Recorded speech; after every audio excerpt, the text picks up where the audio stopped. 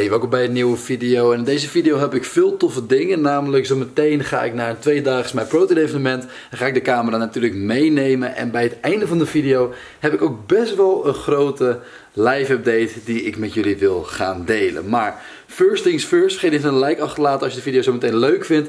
En daarnaast heb ik ook nog een wat kleinere live update die ik met je ga delen. Want ik ben namelijk een paar dagen in Giethoorn waar ik vaak ben om even tot rust te komen. En daarover ook meer in de live update. Maar ik dacht, hoe kan ik deze super rustgevende omgeving nou iets minder rustgevend maken? Want mijn ouders hadden namelijk nog een grote bokzak in de schuur liggen. En zoals jullie weten, ik ben de laatste maand best wel veel aan het boksen. Elke dag eigenlijk. En dacht ik van oké, hoe gaan we gebruik maken van deze jongen? En hebben we op een hele Gieterse manier deze zak gewoon opgehangen aan wat houten palen die het ook verbazingwekkend gewoon halen. Want geloof me, ik kan veel deadliften, maar dat ding is echt best wel zwaar. Dus ik zeg, het is tijd voor een kleine workout.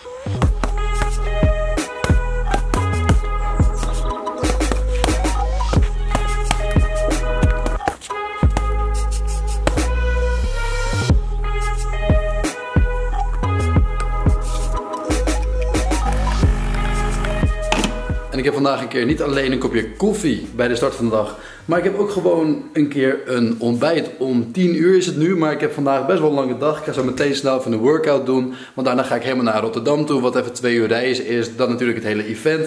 Dus ik dacht, oké, ik ga niet op een lege maag trainen en niet op een lege maag die drukte in. En natuurlijk wil ik ook niet mijn havermoutmaaltijd overslaan. Dus deze gaan we opeten. Dan gaan we snel een workout doen. Ga ik niet filmen, want ik verwacht nog wel wat fitness content in deze video te verwerken. Kunnen we even snel trainen. En dan gaan we vanmiddag naar Amsterdam. Rotterdam. En dan gaan we vanmiddag naar Rotterdam.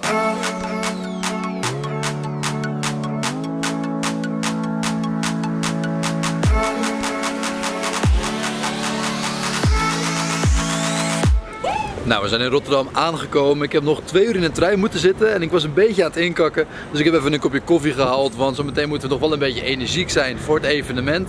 En ze doen tegenwoordig best wel lastig met filmen in de supermarkt. Want ik mocht de camera niet in de buurt hebben in ieder geval. En nu ik hier in Rotterdam rondloop, kan ik me eigenlijk niet herinneren dat ik ooit in de stad ben geweest. Maar moet haast wel zou je zeggen. In ieder geval is nu een klein stukje door het centrum lopen naar het hotel. En dan gaan we inchecken en de rest van het team ontmoeten. En dan is dit de hotelkamer met één belangrijk detail. Een koffiezetapparaat. Hebben ze rekening mee gehouden. Dus morgenochtend zitten we in ieder geval goed. En ze hebben zelfs nog een klein kaartje van het hotel zelf. Het zit hem in de kleine details. Volgens mij een chill bed, kleine zithoek, een badkamer. En nu moet ik even kijken waar de rest van het team is. Goed, met Ja, jou? hoi, gaat goed man. Hi, hi, Tom.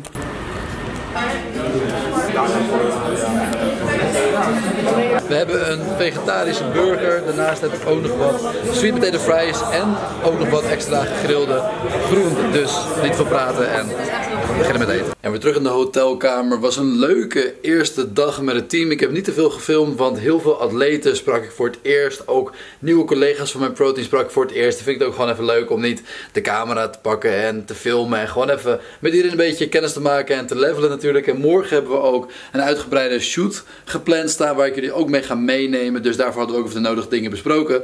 Lekker gegeten, maar het is al best wel laat. Dus ik ga lekker in bed ploffen. En ik zie jullie morgen bij het ontbijt.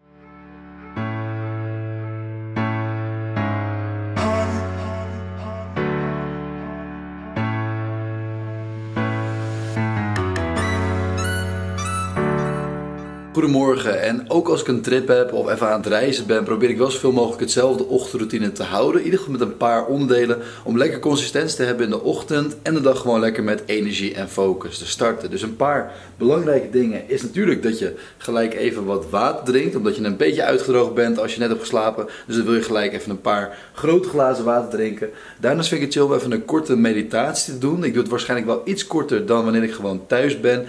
En natuurlijk het belangrijkste, de koude douche. En het grappige met de koude douche is dat het nu oktober is en je begint echt te merken dat de koude douche echt koud begint te worden. In de zomer is het gewoon, ja, het is gewoon goed te doen.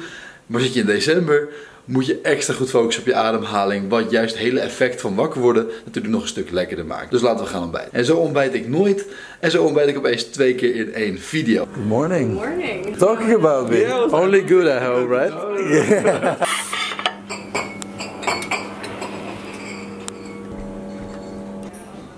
En ik denk eerlijk gezegd een van de meest gezonde hotelontbijten die ik heb gehad. Maar in ieder geval gewoon één volkorenbol, of althans het is een bruin bolletje vind ik volkoren. Heb wat kipfilet, er komt nog wat scrambled eggs aan en wat komkommer. Daarnaast nog gewoon een klein beetje yoghurt met aardbei. En natuurlijk met ook even een kopje koffie, want het is nu iets van 8 uur. En het gaan we opeten. Het team heeft ook nog allemaal lekkere dingen. En dan gaan we shooten.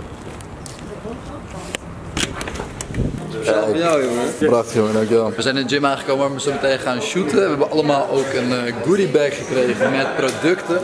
En even wat outfits, dus deze gaan we zo meteen aandoen.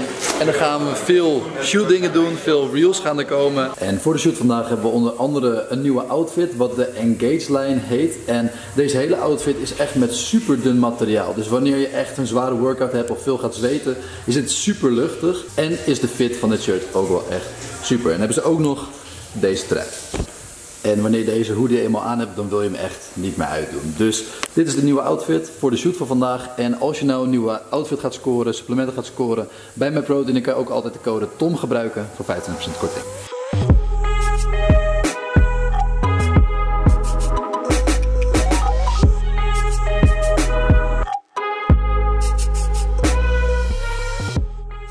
Zijn al eventjes aan het shooten en ik heb zelf even een pauze. En daarachter zie je de andere MyProtein atleten wel nog bezig. En het chillen van vandaag is dat ik ook gewoon even mijn schema kan volgen. Want ik heb net al iets van 300 herhalingen gedaan. Maar allemaal met licht gewicht. En het is altijd met een shootdag van je doet heel veel oefeningen. Maar ben je nou echt effectief aan het trainen? Dat niet echt. Dus we gaan alsnog gewoon even onze pull day een beetje afmaken. Met als eerste let pull down ongeveer 10 herhalingen voor 3 seconden.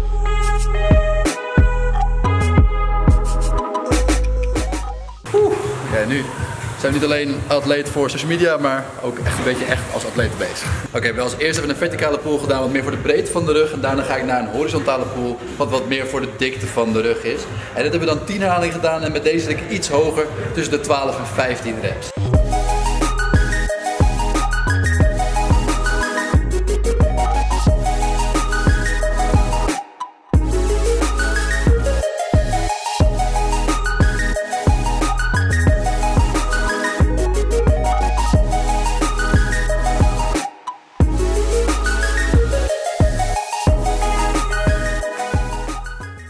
Even een break van het shooten met een crispy layered protein bar. Eén van mijn favorieten trouwens. Je deze niet hebt geproefd, de layered bars zijn echt super lekker.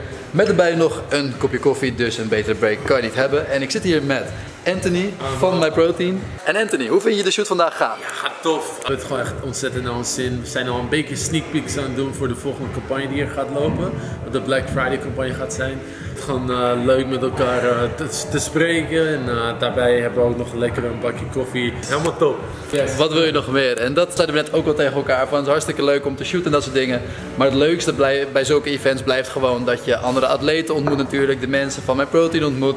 Je bent natuurlijk met een online ding bezig. Dus je ziet elkaar niet heel veel. En ik haal altijd weer energie en inspiratie uit zo'n event met like-minded people toffe producten, Zeker. lekkere protein snacks. Yes. Wat wil je nog meer? Dus wij gaan even deze eten en dan gaan we door met shooten.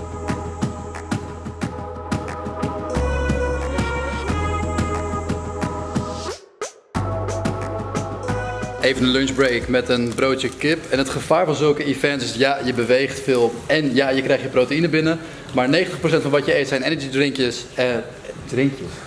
Energiedrankjes en proteinbars. Dus na een tijdje heb je ook gewoon even wat normaal eten nodig. En ik ben weer thuis onder mijn protein trip en ik blijf het super vet vinden dat ik onderdeel ben van het mijn protein team. Ten eerste voor de toffe producten die ze natuurlijk hebben, maar daarnaast ook met de community die ze aan het opbouwen zijn met andere MyProtein atleten. Ook heb ik gewoon een super goede band met de werknemers. En is het gewoon super tof om af en toe naar zo'n event te gaan. Ik ben een paar keer in Manchester geweest. Met zulke shoots en dingen ontmoet je weer andere influencers of andere content creators. Natuurlijk het MyProtein team. En ik ga altijd weer naar huis met meer energie en meer inspiratie om toffe content te maken. En gewoon beter mijn best te doen met alle dingen waarmee ik bezig ben. Dus deze dingen blijven gewoon super om te doen. En daarbij wil ik ook jullie bedanken. Want als jullie mij niet zouden supporten met bijvoorbeeld gebruiken van de kortingscode, met bijvoorbeeld gebruiken van mijn persoonlijke link van mijn protein, zou ik ook niet al die toffe dingen met mijn protein kunnen doen. En jullie krijgen natuurlijk toffe producten met een korting. Maar daarnaast supporten jullie mij ook weer en kan ik weer meer focussen op het maken van content wat jullie weer kan helpen. Dus in ieder geval super bedankt voor die support. En nu heb ik nog wel even iets uit te leggen. Want dat is dat ik inderdaad weer Nederland ga verlaten. Ik ben natuurlijk vorig jaar acht maanden in het buitenland geweest van Mexico, Colombia en Guatemala.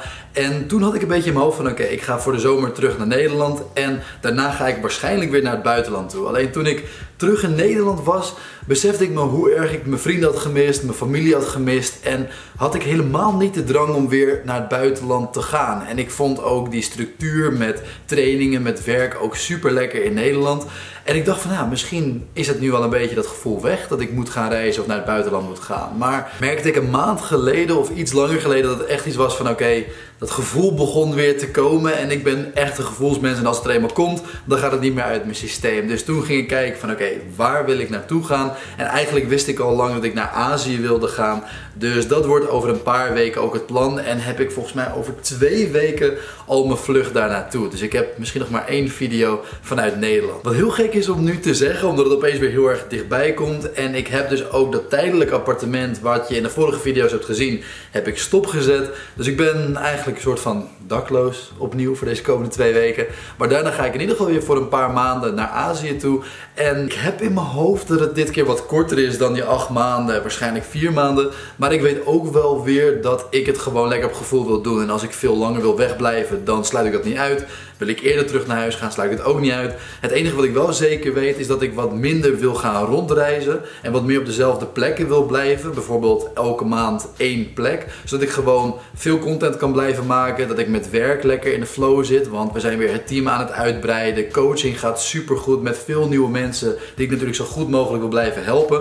En daarvoor is ook handig dat je gewoon altijd wifi hebt. En dat soort dingen. En daarnaast vind ik het trainen gewoon super lekker om te doen. Ga ik ook maar even wat Muay Kickboxing erbij doen, omdat het boksen nu ook lekker gaat. En kan ik gewoon, gewoon bij dezelfde gym blijven trainen. En natuurlijk makkelijke progressie kan bijhouden. Dus ik heb wel een lekker idee hoe ik het wil gaan aanpakken. En ik heb echt super veel zin om dit keer niet naar Midden-Amerika en Zuid-Amerika te gaan. Maar juist naar Azië, wat oorspronkelijk mijn idee was. Maar door COVID ben ik toen naar Midden-Amerika gegaan.